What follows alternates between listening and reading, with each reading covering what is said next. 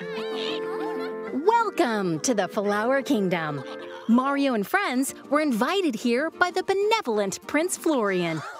But Bowser, the king of the Koopas, had other plans. With just a single touch of the mysterious Wonder Flower, Bowser merged with Prince Florian's castle. Now, it's up to Mario and friends to stop Bowser and save the Flower Kingdom.